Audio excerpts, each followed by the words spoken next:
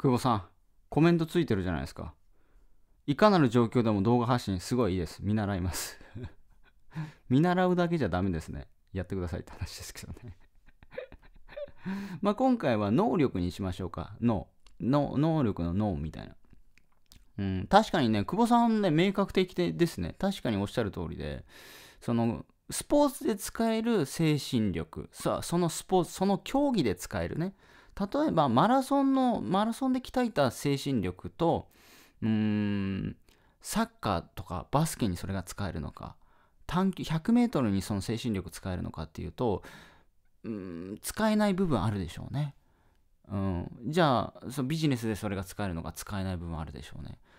うん、でも、うん真似ることなんだろう応用することができるとは思うんですよ。でも応用できないんであるならばできないでしょうね。だからまあのその応用能力適用能力じゃないですかね。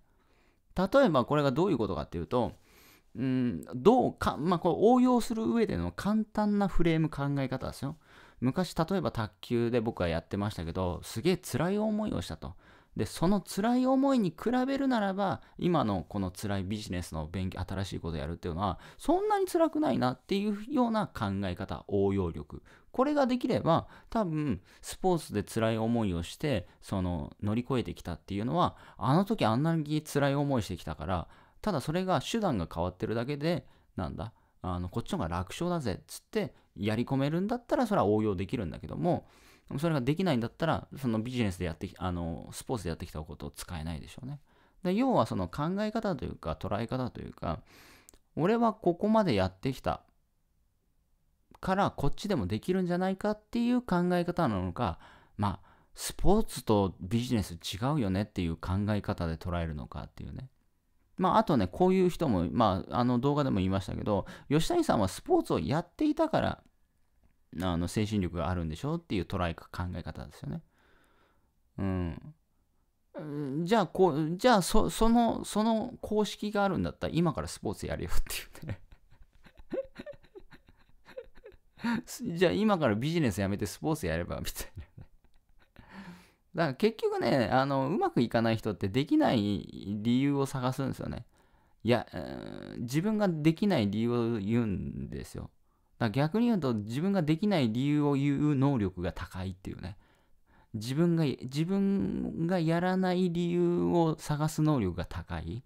自分を、自分ができない理由を正当化する能力が高いっていうね。逆を言うとね。僕はその能力が高くなくてよかったです。僕はその能力が高かったら今になんないです。僕はできないから人よりやる。ただそれだけです。能力がないから能力をつけようっていう考え方だったんでよかったですね。うん。た、た、例えばね、動画に関しても、あの、ヒカキンさんに絶対勝てないんですよ、再生数とか。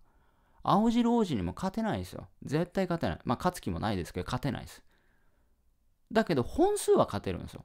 だから、1本あたりは無理だったとしても、本数はいけるぞ。こっちだったら勝負できるぞ。能力ないからこっちで勝負するしかないよねって話で。だからパカス踏みますね。青汁王子の1万倍やってありますよ。そんなの動画本数。動画本数青汁王子の1万倍です。いってらっしゃい。